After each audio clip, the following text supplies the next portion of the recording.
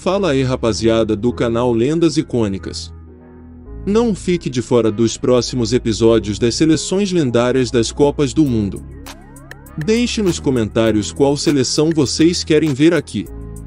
Fiquem à vontade para escolher a sua Copa ou seleção preferida. Até a próxima. Forte abraço.